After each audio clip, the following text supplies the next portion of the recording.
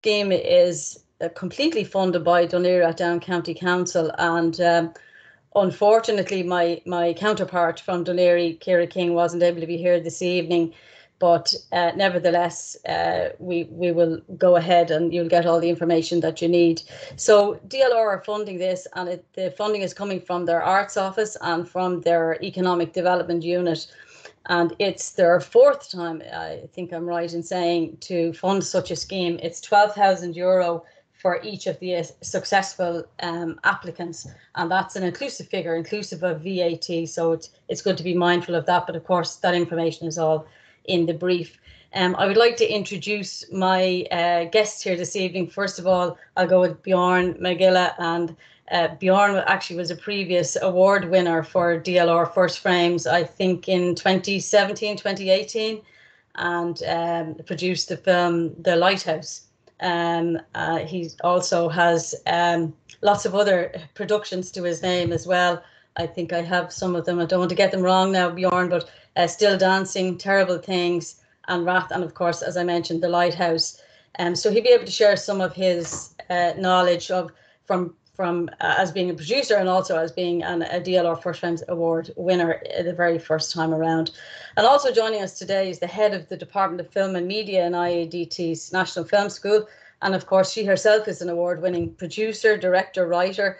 And so we look forward to hearing from Vanessa shortly too. Um, she has an extensive portfolio, and I thought about listing out some of your work, Vanessa, but when I saw when I saw it, I thought better to direct people to have a look uh, online at vanessagildea.com to, to really get a, a, sense of, of that.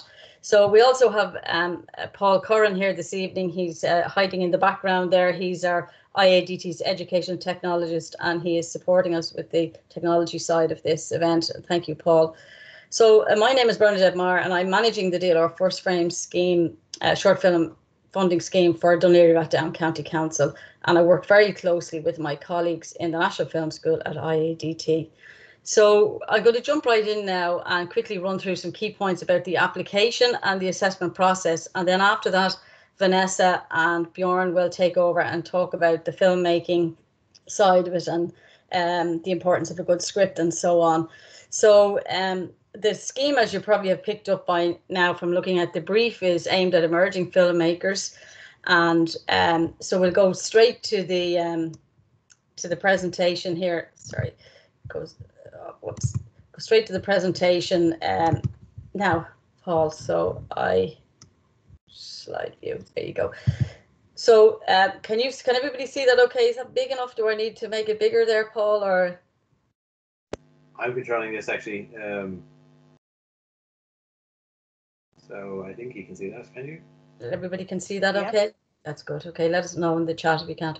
So it's basically the first part of it is about um, other funding. We get a lot of questions about this, and we, we we've covered this each time. But it's just important to reiterate that crowdfunding is not allowed under the scheme. Uh, again, a lot of this information is in the brief, but I think it's important to to point it out again because it's, it's it it means it's the difference between remaining eligible and and not and and um, not being eligible. So other funding, if you have any, is allowed, but it must come from a le legitimate and non-competitive source to DLR. Other funding must be available for the project at the time of application. So it's not a case of well, it's going to cost twenty thousand to make this, and we'll find the other eight eight thousand in time. You have to actually um, have have uh, evidence of that if you're shortlisted to, to, prove that that money will be forthcoming and you can actually make the film. So written confirmation of the funds will be required before a formal offer. So uh, other funders can be included in the credit roll, but not as the main film funder. DLR Rathdown County Council must appear as the primary funder um, if if you are successful to with this award. So uh, own, own money and family money can be used subject to the above conditions. Again, DLR have to take um, prominence in terms of the credits. And uh, raising money through sponsorship or using other bursary, prize, small funds is permitted. Again, subject to those conditions, you have to literally roll it by, you know, um, DLR and make sure that they are okay with that. So just something to be aware of when you're looking at the, the cost of your production and so on. So I'll move on there now to, again, in the um, the brief, we've outlined stage one and stage two criteria. And what we've done here uh, since last year is to actually make the stage one application less onerous. So we're looking for a script and for uh, proposed DLR locations to film in. And you can see the way the um, the scores are, are divided up between those two criteria.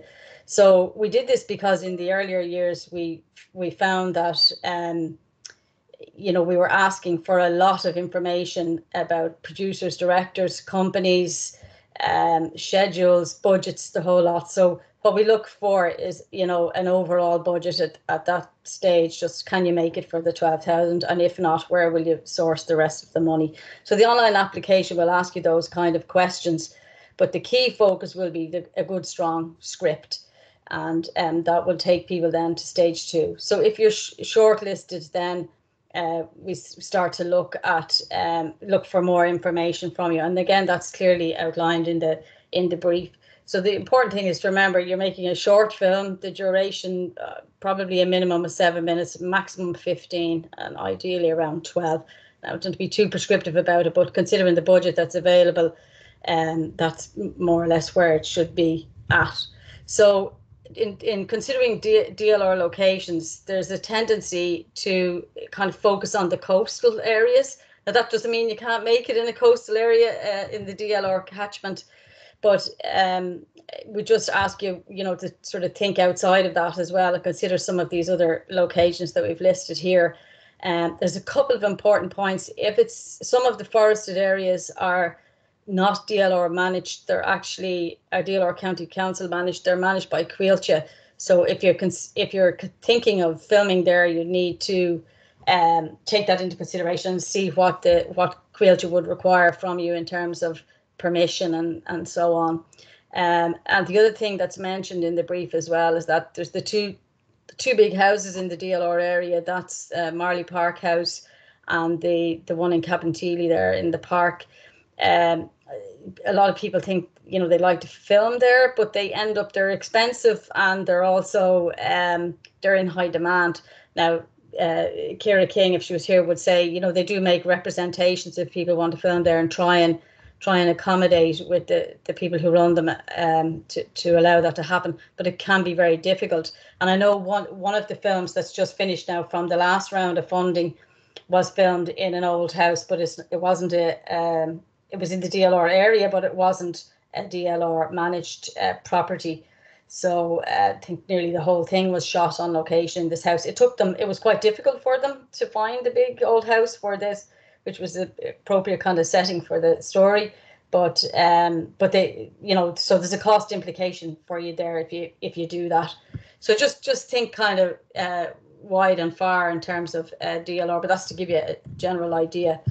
Um, and then the stage one, uh, the, the this year we've changed the application process a little bit in that it's an online submission, and that's to help us to kind of streamline the administration side of it and have uh, the information uh, really tight and compact, ready for the assessors to start, script assessors to start looking at it more or less immediately uh, after the closing date.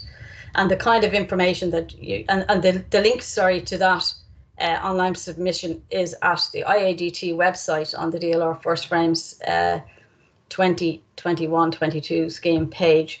So it will look for key contact details. So whoever's the main contact for this submission, a log line and synopsis, and then the completed script. Now you can attach the script max 25 MB, which is really quite substantial. It shouldn't be any bigger than that. Um, I'm told by our technical experts in IADT. Um, don't include any photographs. It's just text only, just the just the written, uh, the typed script, and then a list of the proposed DLR catchment areas will need to be entered into the online application form. So you need to have those thought out and ready when you're submitting, and an indicative schedule for production and post production, company info and proposed crew. So if that's known, it's not part of the judging criteria. But if you already have a company set up and you, you have a, a good idea who the key crew are, are going to be, um, we'd appreciate that information up front. It just means we've less to gather later. If you're shortlisted, but you don't have to put it in and it won't be like held against the application or anything like that. Um, but we what I would say to you about that is that what we have now is a very long window. We've really extended the time that you have to get your script together. So um, we launched about two weeks ago, and the closing date is not until the 9th of September. So uh, there's quite a long lead in time in terms of preparing the script um, and the application. But all we want at this stage is what, what's asked of you in the online application form, that information with your script, and that's it. So we're not looking for photographs or lots of links to previous work or anything like that, not at this point in time. Um, if you're shortlisted, we'll look for that later. So you can see a list of what would be required at the shortlisting stage. And the reason we're giving this up front now is that, you know, it's something to be thinking about over the summer and, you know, start thinking about who who the key people are and maybe building something that if you're successful, because there's a small window when once you're told that you're shortlisted until the interview date and a lot of additional information is required at that point. So it is something you need to be thinking about and prepare for in advance. And um, just to go over the key dates again again this is all on the the IADT uh, website on the brief. So you're looking at the closing date is five o'clock sharp. It's an online submission so it will literally shut down at five o'clock um, so I, I implore you not to leave it to the last minute. We have had issues before where people have internet has gone, the electricity has gone, or so, something has happened, you know, and um, they they've missed the deadline, and there's there's nothing we can do about that. It, whether it's two minutes late or two hours late, it's just it just won't be eligible. So we will notify people after the uh, script assessment, the stage one assessment before the end of September. And then we will look for additional paperwork by the 12th of October. So you can see that there's only really a two week um, window there to gather all of those extra bits and pieces that are required if you're shortlisted. So it'd be no harm to be pulling those together in the meantime. And then uh, the stage t- uh, two panel interview uh, will have a, a representative from um, IADT's National Film School and from um, DLR, and then we'll have an external person as well in the film industry. So the interviews could take place either the 20th or the 21st of October. So you need to have both of those days um, kind of pen- penciled in your diary if you're shortlisted, because you have to be available in order to remain eligible. And um, we don't know which of the days, obviously, depends on how many are shortlisted and so on. Uh, so just just bear that in mind that and we, we would at least need the producer and director and the script writer is what we'd be looking for there. So um, and then the, the decision will be made very quickly. So by Friday the 22nd, and then all the paperwork and all the uh, contracts and all that bit happen uh, through through November and have to be completed completed by early December. So um, that's kind of the the housekeeping part of it, I suppose. So I think I'm going to hand over to Vanessa now um, and Bjorn. So if you could if you could uh, take it from there, Vanessa, that'd be great. Thank you, Bernie. Um, so what I'm going to do, I have a little bit of a presentation. It's it's a fairly um, uh, straightforward enough, uh, basic uh, presentation on focusing mostly on script and i'm going to kind of fly through but some of it like i can see some of the names. I know some of them are um uh some are about to be graduates of the film course so some of it will be um you'll have maybe heard from me or the tutors before but i'm just going to run through it. As you are you may have a script you're about to write you may have a script you've written but here's just a few bits and pieces and then i know um Bjorn has some tips which will be great as well. And uh, feel free to interrupt me, Bjorn, at any stage if you'd like to. um, I'm going to just share that screen with you now. Make sure it worked as early as easy as it did earlier.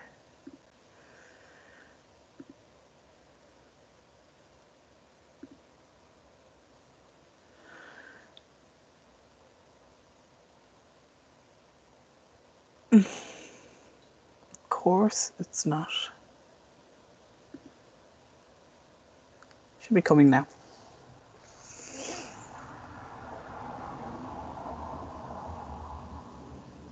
Thanks for your patience. It's just there we go. So as I said, it's not a particularly visual. It's not even as nice as Bernie's presentation with alternative colors, but it's it's just it's very very basic.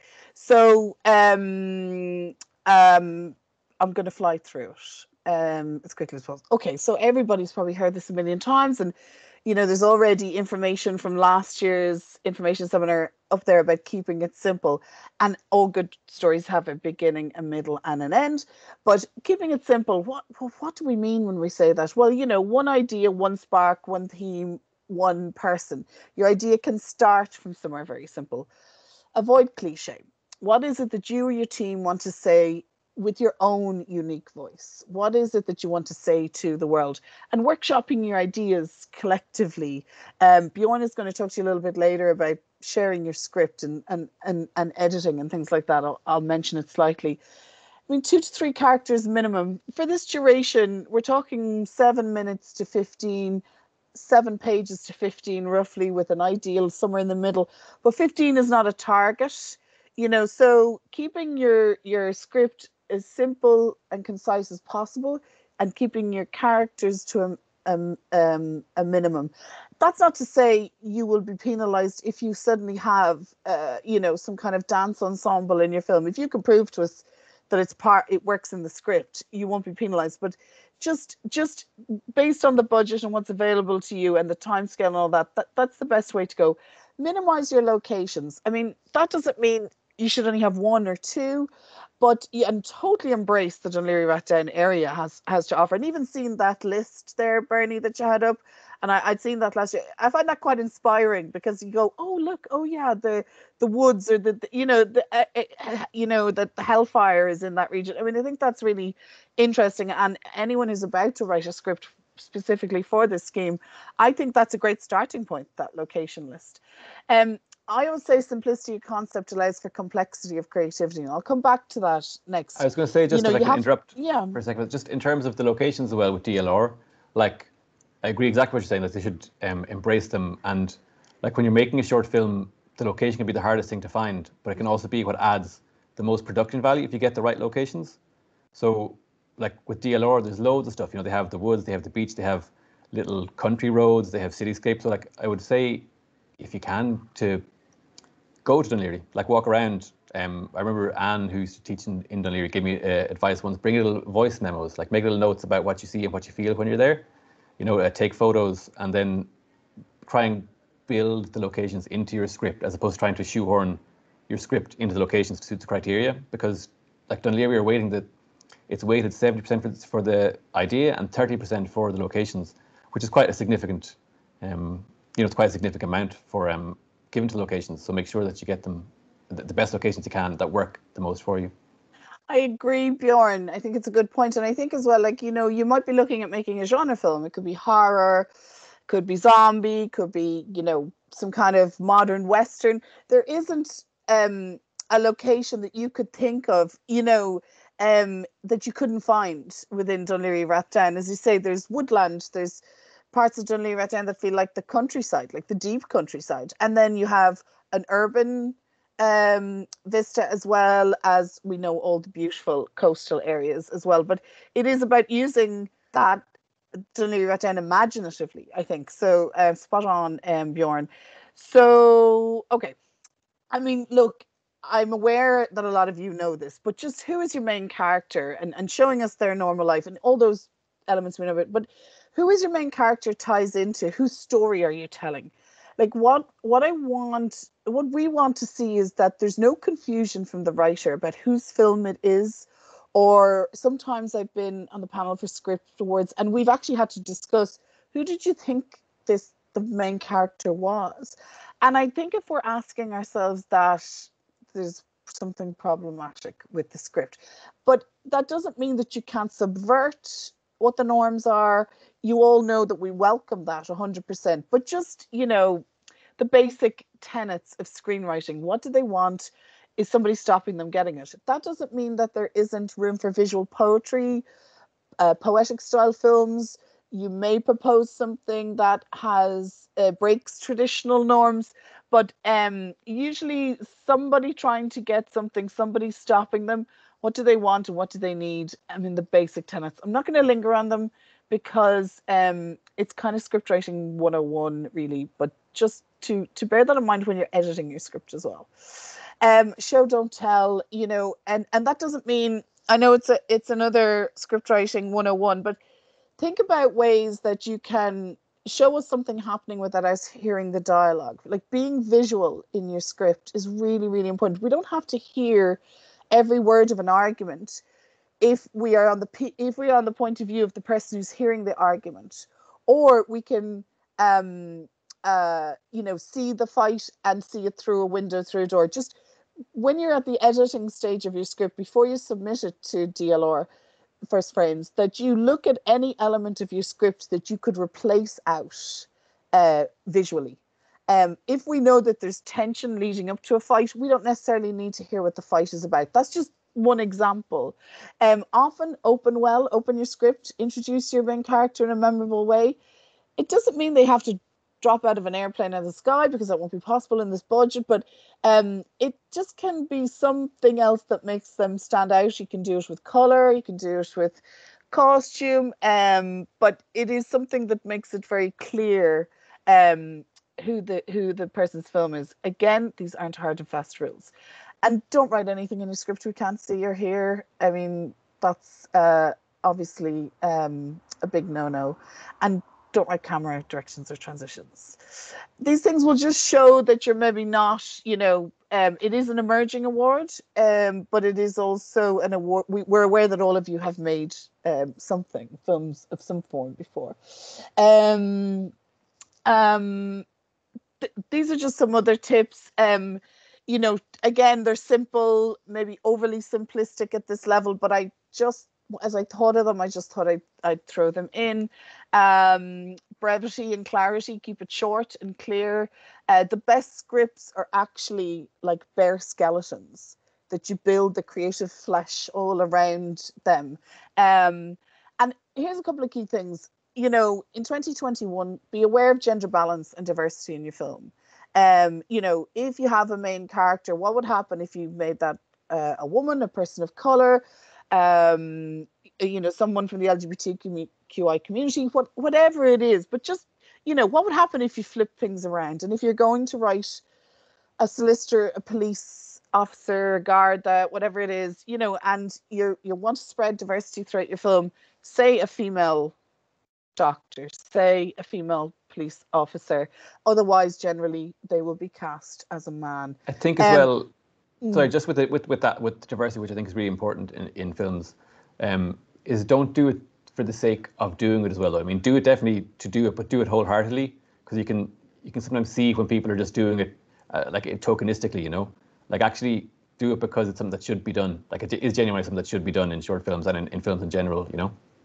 Yeah, hundred percent. You know, that's that even flipping things around isn't going to work in every situation, I suppose, but it's sometimes if you have um, you know a crime story or you know gangster heist film and if you look at making those characters women nothing changes other than you've made really well-rounded female characters um or you're surprising us a little bit or um but I, I agree bjorn nobody's interested in tokenism you know and it, and it does stand out off the page um but it's just when you're at the edit stage again or at the creation stage that you you have an awareness um, that the world is 50% female and that um, there are uh, that we are a hugely multicultural society now. So just it's that that awareness of that is important.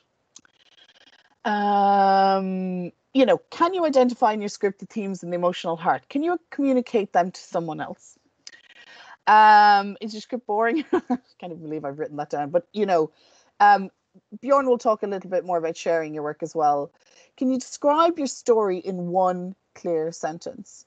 Is it cliched? What is new or urgent or important about it? You don't have to answer all of these questions, but it can help to ask them. What does it say to the world? This doesn't mean that everybody has to make issue-based filmmaking. In fact, um, you know, if we if all we could go to see in the cinema was social filmmaking or social issue filmmaking, well, it would be quite a boring place to go or monotonous. But um, you can have a comedy or a genre film and still say something um, that you want to say, but you could also want to make us laugh. And, you know, boy, do we need more comedy writers as well. Um, what's original, fresh, and exciting about it? And um, does it make us laugh, cry, think? Does it have heart, truth, and integrity? Um, I just took my own short film here as an example. It's not to promote my own work as perfect or anything, but I can use it as an example. Um, it's a it's a short film. Um, you just Google the White Dress short film, you'll see it. Three minutes long, so it's shorter than the scheme, but it's a, I can say I, I got funded for it by Screen Ireland because I knew it was just one simple, clear idea. The script was very bare and sparse um, it was based on a true story, a simple idea of a girl who makes her Holy Communion by herself. I had the themes worked out. I knew what I was saying about it. I knew what style and genre it was. Um, there was no dialogue, so it was really visual and about sound. And in three minutes, um, you know, it, there's so many great short films at three, seven, eight, nine, ten, and you can still tell, you know, um, uh, a universal epic story in in that time. Um, just be brave with your subject matter. You know, they say the greatest films are the ones that scare us the most to make. Also, I'm just, you know, would love to receive comedy scripts. It's hard, but you know, we couldn't encourage it more. Um, you know, pick an idea and imagine you're telling the story to your friends, and if you can tell it simply and really well, generally you're at the seed of something really good map the idea out um, action it out on a page one to ten steps get it all out on paper and then rewrite and rewrite and edit and edit um, ask for someone to read it don't tell them anything get feedback and have fun um, try and fail and succeed and try again um, and that I do apologize to anyone if they've even heard me teach all these similar things before, but just for, you know, not fully aware of uh, everyone in the audience, they would be my top tips as you would um, go to write or edit a script you've already written. Um, Bjorn, I know you might be ready to uh, yeah hop um, in there. I'm going to stop presenting there. I'll just say as well, there's one other um, tip before I talk about um, sharing early and editing stuff, which um, might sound obvious again, but it's just to watch loads of short films. You know, watch as many short films as you possibly can because it's quite a different form than feature films. It's quite different than short stories. Um, you know, I, used to run a small festival, film festival on Clare Island. We used to get hundreds of um, submissions every year, and it really is like a, a, a unique kind of art form compared to feature films. You often see scripts try and squeeze a feature film idea into a short script, which doesn't always work.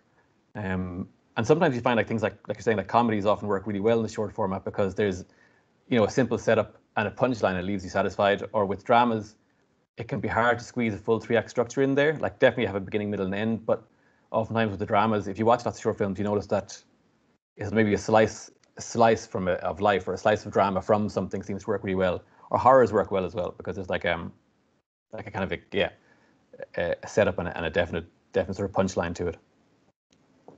Um, then in terms of editing and for, for feedback, um, I guess as a bit of background to myself, I studied in Dún Laoghaire. I went there as a mature student and I graduated in 2015. And then we um, set up a company when we graduated and we've been lucky enough to have been funded six times, I think, um, for different schemes, one of them being Dún Laoghaire, uh, yeah, Laoghaire and Screen Ireland and Arts Council and um, Kildare and some others. But so these are things that we find that I found that have worked for us anyway for the stages of application. And I kind of think of it as three stages. There's the script stage, then there's the interview stage, and then there's the actual production stage if you get selected. Um, but so for the script stage, obviously I'm not a writer, so but Vanessa's gone through a lot of those points about what you do to make your script as good as possible. Um, I think you have to put as much of yourself into it as possible and you know love it as much as you possibly can and write the best things you possibly can write. And then is kind of the hard bit is that you try and step away from it. You try and remove yourself from it and and give it to people for feedback. So and and try and not take criticism personally.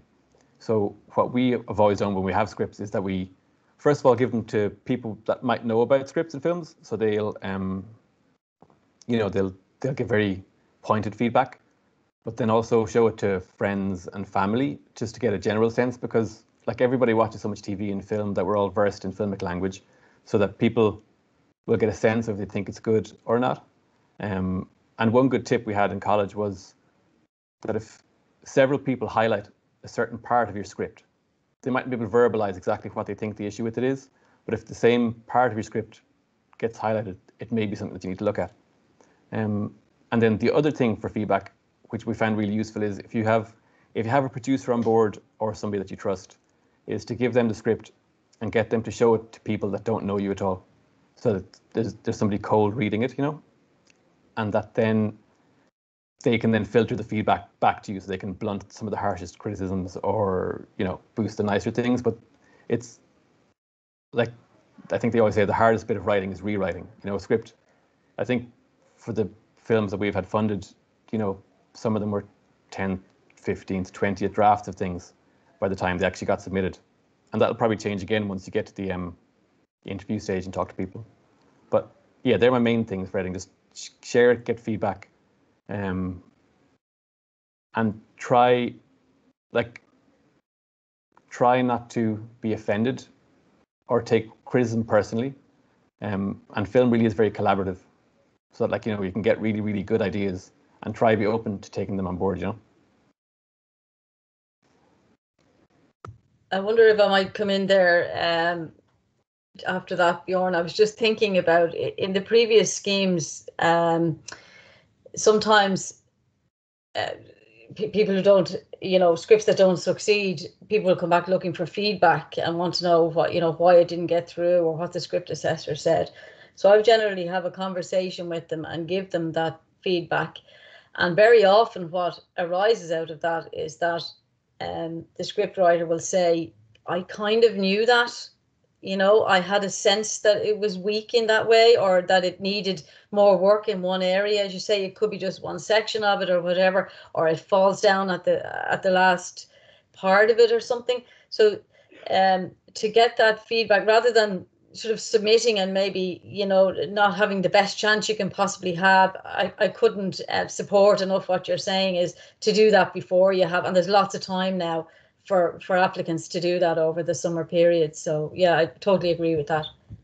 And also if you happen to have crew attached or if you know people from other departments you know so like if you know cinematographers or if you know directors or producers or editors or you know sh- show the script to them and have a chat to them because, like, you know, there's people out there whole, whole lot more than any of us, you know, and they can really give some really interesting, you know, a cinematographer give really interesting visual tips or something that might really work with your script, or an editor might be able to talk to you about the pacing of the script or something might might be able to be done.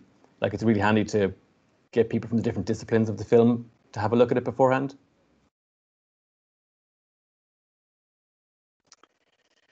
There was one other thing I was going to say, and again, it may go without saying, but I'm going to say it anyways that please, please, please have your script formatting perfect.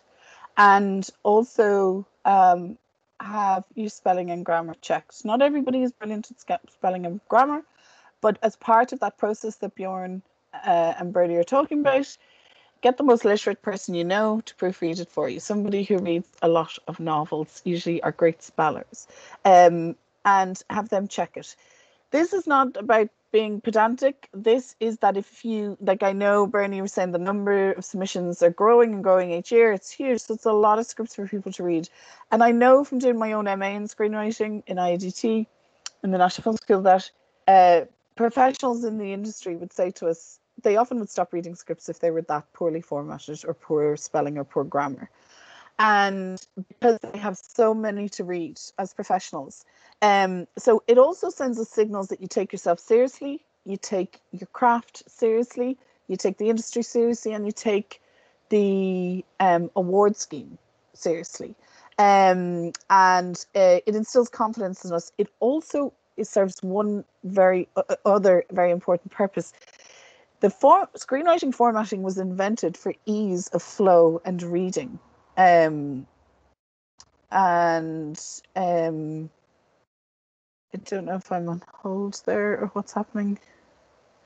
Um, but it, it, it does serve the purpose of um, it does serve the purpose of um, being able to read the script as it is supposed to be read. The formatting tells us who the character is, who's when a character has been introduced to the script in caps, what their age is, what's the next scene? We've moved from the bathroom to the kitchen to the hallway. If those things are not formatted correctly, the reader can get confused. And if we get confused, we get pulled out of the story. So it serves all of those um, purposes, I would say. Um, there was also there's a um, question. Um, oh yeah, sorry. John, just with, with, that, no, with what you're saying with the formatting. Um, again, when I was in IADT, was taught about screenwriting, and a really good tip we found was like don't uh, try avoid huge big paragraphs of description as well. That you want to break it up so that each paragraph you're writing should um, represent a shot in your film almost. It's a really handy way because that really it really helps you visualize yeah. the film in your head. Then if, if each paragraph is almost a new shot. Yeah. Um, the joy as a reader when you open a script and there's loads of white space. So your script should look like there should be so much white space on the page, and that is no more than two to three lines of description. Stop, take a break. What it also serves the purpose, Bjorn, is giving a more realistic sense of timing. So we know a page generally equals a minute on screen, but that's not always the case. Depends on the style of film, depends on the genre, but generally that's the guide. If you format it like that and you keep your dialogue minimal, um, as minimal as possible. That suits depends. Everyone's different and everybody writes differently but um we will have a more accurate you know i've seen scripts that are presenting as eight pages. In reality they're 20 or 15 you know because they've packed it all in in, in correct formatting. So anyway um that's a uh, that's a, a good note as well. Not to no big chunks of text on the page. It it it drives the r- reader out of the story. Um uh Bernie, there's a question there. How much experience is necessary for a director from Ali? Um, you're on mute there, Bernie. So I am sorry about that. Yeah, she's she's asking about the whole oh the whole uh, team, yeah, team, as well. So, I mean, really, we're talking about emerging filmmakers now. They would have to have they have to have a certain amount of competence and to show if they get short if the script gets shortlisted um, the next stage, you know, is quite tough. And uh, we might bring maybe, it's hard to say, maybe 10 through, 9, 10, something like that. And um, it depends, you know, on the script assessors' uh, scores and all the rest of it. But we would need to see that there's some level of confidence that this team that have been assembled will actually be able to deliver uh, a short film for the for the budget. So we'll be looking at all the aspects, the budget, the scheduling, to see, you know, how realistic is all of that. Have they got a good understanding of the production and direction uh, for it? So that's why we interview at um, stage two because we have to uh, dig deep into that and to see that you know if that award is made to that particular um, film that they can actually deliver. So, so you know, not it's not aimed at complete beginners, Bernie, but somewhere between that and established. So it, somebody could have one or two good credits, mm. um, you know, um, strong uh, credits, um, and it applies across the board. Like if if somebody has, you know, um, like extensive experience, um, but it doesn't necessarily it, depend, it depends on what's been submitted in that um previous work as well doesn't it bernie but it does, it's kind of case by case and you know i i think as well you know to have a producer that has produced um mm-hmm. because you are dealing with budgets and money and it is public funding as well is is important but that can be in the short you know one short form um production credit um i presume um there yeah. um bernie yeah. Exactly. I mean, they are emerging, you know, so yeah. we're very aware of that. So it's that kind of little balance between, um, you know, somebody having uh, kind of some success, but um, trying to trying to get something started as well, trying to get it, get it off the ground, you know. So um, that's it. And then I see another question there from Robert. I think as well, just in terms of the um, the experience level, like if you are a very inexperienced or relatively inexperienced director or producer or whatever happens to be, like if you can, when you're putting your crew together, then surround yourself with people that are more experienced. Like you know, get a slightly more experienced cinematographer, get a slightly more experienced uh, editor, get a production designer. Like yeah. they, they can help you. It's like it's great to surround yourself with people yeah. that are more experienced than you. those things. Yeah. Like we for our, the Screen Ireland short we did, like we had a, a cinematographer Narian who's you know he's brilliant. So like mm-hmm. he really helped us a huge amount of the way um, in terms of getting the film to look as good as it could.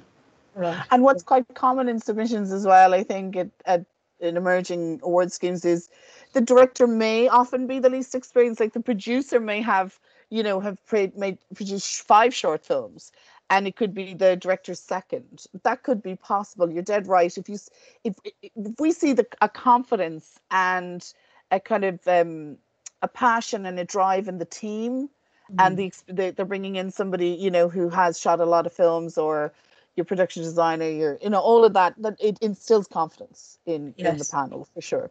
For sure. And then the question from Robert about do you have to do you need to have a registered company before submitting? The answer to that is no, but you will need a registered company or to be associated with a production company by the time uh, if if you're shortlisted we need to see that this is something that can can actually happen so you'd have to apply at that point now those things can take um, you know, a bit of time to process. So before any formal agreement um, is, is made, you know, you'd have to have a registered company in place. But, you know, as like I said, some of the award winners have used existing production companies, have aligned themselves with them and uh, and worked out of those. So if you already know that and you've and you've worked that out with somebody, you can include that in the application. And again, you've got a couple of months to to give that some thought. I mean, we're not looking for to ask people to set up production companies just for this application, but you will need a production company if you're successful. So um, you need to be mindful of that. And then Jacob is asking about how COVID aware must the scripts be in their practicality uh, room with 50 to 20 extras and streaming. Well, obviously, these films will be made in um, uh, 2022, and we're all hoping that we'll be uh, in a different uh, space in terms of our safety and all the rest of it. What we what we did this time around um, when COVID emerged was we were able to secure additional funding. Uh, you know, it, it was a percentage of the overall fund um, for safe shoot expenses. And um, if COVID is still an issue, we would try to do that, but it's a modest amount. It would really cover, you know, cleaning down equipment the kind of products you need for that, stickers for the floor, you know, keeping people social distance and so on. We're hoping that won't be the case in 2022.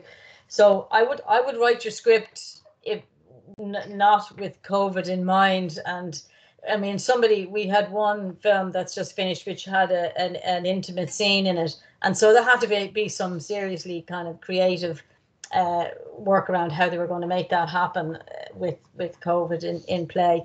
So that would be something to kind of work through later. I would I would concentrate on the script and the quality of the script before getting too bogged down in that. You know, there's ways around things in the end. So yeah, we're very optimistic about heading into a new year, a new academic year with students filming. So we'd hope that the same would apply to this award scheme. But again, nobody wants to thwart your imagination. Mm-hmm. But I think you know we'll we'll we'll we'll play that as it goes along. And if if elements of your script need to be adapted, um, then I think that that that that will be possible. It's so hard to answer because you nearly have to be looking at you know it's a kind of a it's very it's a very kind of um, theoretical kind of um, hypothetical question mm-hmm. um, because it's case by case. But I think I think you should just enjoy your creativity for now and yes. celebrate it and we'll yeah. hopefully we'll be in a different a different place in, in 2022.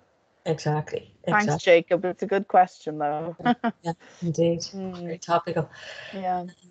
Okay, anything else? Any other questions? Anybody anything else Bjorn Vanessa you feel we, we need to no. Um, I have a small one just about in terms of if you do get through to the next stage, like oh, the yeah. interview process, mm. which is just um, like again for the ones we've been shortlisted for is to prepare, prepare, prepare, prepare as much as you possibly can. Like you, you, like the first thing we always do is we sit down and we take the script and pretend it's somebody else's script and try and look at the production difficulties that might arise. Mm-hmm. Like you, you're going in trying to convince the panel that this film can be made, that it should be made, and what are like what are the issues that might, what are the yeah production difficulties that might that might cause it to fall, and be try and like disassociate yourself from the script as much as possible and be as critical as you possibly can to it to figure out what those production difficulties might be. And then again attach at that stage attach as many of the key crew as you possibly can um, and, and to have conversations with them so that, that if, if the panel ask you questions about the visual style about the sound design about the score about the pace of editing about you know all sort of stuff that you have those answers ready. And another thing that we always do, which might sound silly, but we have several mock um, interviews beforehand. So we'll take everything that we'd sent to Laoghaire, say we sent to Screen Ireland, and we'll send it out to our friends who haven't read anything and get them to prepare as if they were the panel. And we will literally sit down for an hour and they'll grill us with and we tell them to be as harsh as possible. And we'll do that. Like sometimes we've done three or four mock interviews beforehand to um like it sounds excessive, but it means that when you're going into the interview that you're really confident and like I think so far there's like there we haven't there has, a question hasn't come up that we haven't thought of beforehand or somebody else hasn't thought of beforehand during those mock interviews. So it's a really, really uh-huh. useful tool to use, you know. Bjorn, no wonder you're so successful and have gone on. Bjorn was telling us earlier that after getting the DLR um, First Frames Award, that you've since been successful in six short film schemes at, at kind of bigger budget levels after that which is extraordinary success rate. I know you've been shortlisted for an awful lot more, but that kind of prep is um, quite exceptional. And one of the things that often I get asked is, what are producers' notes? And they're kind of exactly what Bjorn is saying there is is putting in paper as a producer why you want to produce the script, what you're drawn to in it, very briefly maybe, um, but also what um, it's it's stating out saying i know we have more locations than you know two or three but i'm confident that we can because of x uh, I know we have um, a shoot in water, but we have XXX in place. I know it looks like we want to shoot in a castle, but actually we know we can replicate it and shoot it this way. And it, you know, you don't just put everything in those producers' notes, and you can say within the budget I know we have a CGI deal for one grand all in because we can do it ourselves. Exactly. It's preempting. If, yeah. If you if you if you can do like something like with the CGI, which I think for the one for Dún we brought in because there was some CGI elements involved in that. So we brought in Kieran, the director, is brilliant at doing this sort of stuff himself anyway. But we brought in examples of that because yeah. we knew there was going to be a question they'd ask. We brought in si- simple mock-ups, but you yeah. know, um, Yep. Mm. It's just, you know, because that's exactly what the panel will ask on how are you going to have 100 extras in, you know, how are you going to have, you know, um, that shadow fly across the sky or that, you know, whatever it is. And it's just having the solutions all worked out. That's mm. for second stage, though, obviously. And, you know, for second stage as well, um, and hopefully someone here at this event today that will be at that stage, more than one maybe. And um it's that you really you're selling it then you know? It's like the, every script will be deserving of the award at that stage. So you have to go above and beyond with your visuals. You have to wow us. I've seen scripts come in that i thought were the weaker of the say the 10 and award schemes and win it because they came in with the whole team the whole pack like bjorn every question answered worked out. That builds confidence communication passion, but you know, coming in with some beautiful photographs or imagery, but really excellent ones, you know, not just taken off the internet and just, you know, mood we can all do mood boards, but something that encompasses um an essence of your film that will sell it to us that will get us get us excited get the panel excited about your project i agree like for um for the ones where we've so again, the production packs, those those visual packs that we submit, like we spend a huge amount of time getting those as good as you possibly can. And again, I kind of like think of it like you play a little cinema in your head. And if I'm if I'm looking through this pack, can I see the film? Can I feel the film? You know, the, the you know the the tone of it, the color scheme, everything is like usually try try and think it out into as much detail as you possibly can. And yeah. the the interview team mightn't pick up on everything that you've put into it, but like the, the shadow of it will be there you know? The, the you, in your confidence in knowing the film knowing your film and knowing why it should be made will be there then in the interview as well. Mm, yeah.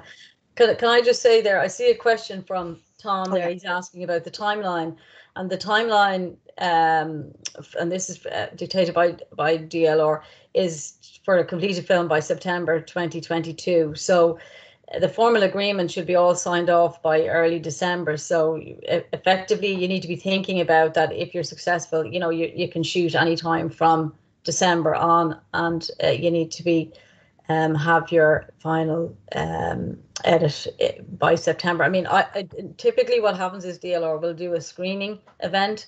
It's usually in the LexIcon, and that's where uh, Bjorn and Kieran's um, film, The Lighthouse, was screened. Unfortunately, we haven't been able to screen any of them since because of because of the pandemic. But we probably will have like a big event with a lot of films to show, short films to show in one go. So we may even wait to show the ones that have been made in the meantime.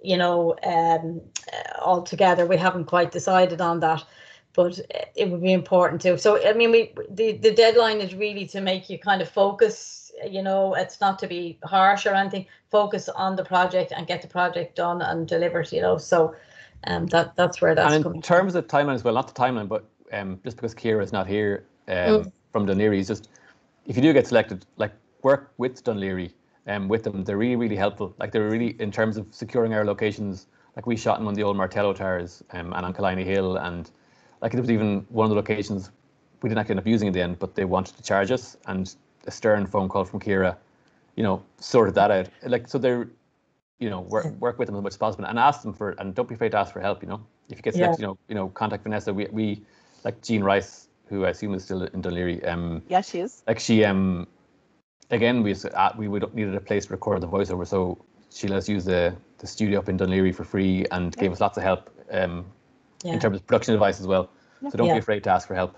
Right. Okay. So look, I just want to say we're we're more or less running out of running out of time now. But um, the other thing is that IADT um, offers some access to equipment and the studio, unlike that the the uh, the radio studio, but the it, it's subject to availability. Like obviously they're in use, you know, all through term time. So it would probably really be in the summertime if you were factoring that in. And we cannot. We've also factored in um, a small budget for some mentoring as well. So, you know, if if you we, we don't want to say exactly what it's for because if we find that we're there's a little bit of work to be done with the script, then it'll be in the script writing area. So we wait and see after the award is made, you know, what the recommendations are. Maybe there's there's other kind of directing support or whatever, and kind of tailor it to the needs, you know, of of the individual um, uh, group, you know. But um, so so so it is there, but you know that's a, a finer detail to be sorted out.